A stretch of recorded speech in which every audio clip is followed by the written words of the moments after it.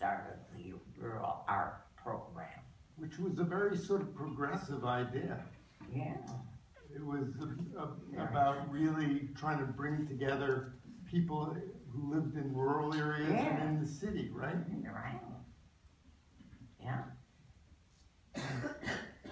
And you, At first, I, they didn't think I would be able to get in that uh, show because one key was almost part of Max.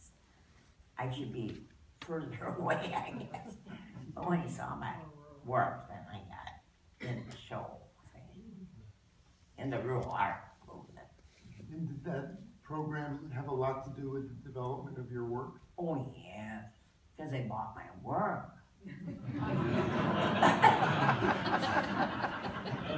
Nobody else did.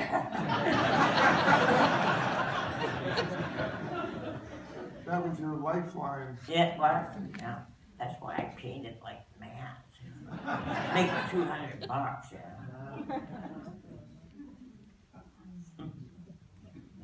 And, what was Curry like? Was he, was he difficult, demanding? Well, he was a very pleasant man. He had quite a sense of humor. Yeah, I know, I went to this one salon show, and they put up one of my pictures and not the other one, and Curry came along, I was with Catherine and my mother, and, and he said, well, here you are, at the show, and I said, yeah, they only put one of my pictures, why, those dirty dogs. It's Curry Did you ever have an opportunity to meet either Thomas Hart Benton or Grant No, Wood? I saw him in, in Alfred Sessler's class. I was in Alfred Sessler's class. And Benton was in there, but I, I didn't want to go over there. You know, kind of corny, wouldn't it? If it- I mean, if you're a student, there, the other student probably think, well, look at her, you know. You wish you had. I wish I had that, yeah. Ma- Of artists.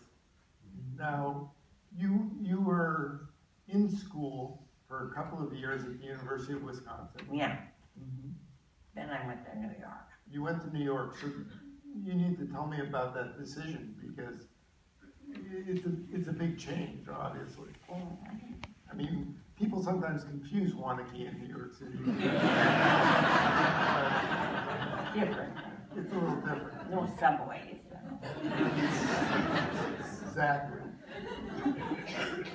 No subway. Oh. Dirty. I had to wash my clothes every night from the subways. But you were enrolled at the rather famous Art Students League. Oh no. I I I got into um realist. I wanted a realist, you know, a teacher that taught realism. So I got in Frank DuMond's class, but I did the old man's head with the beard. I guess it's not the show here. But anyway, uh, I worked a whole week on that particular face. He was up on a platform.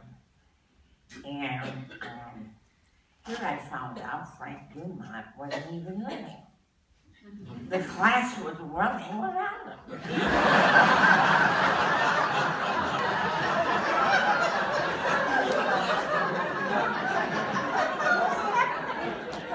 I hope, I hope they give you a tuition refund. So all I did is draw on that face. Now, now you had one painting in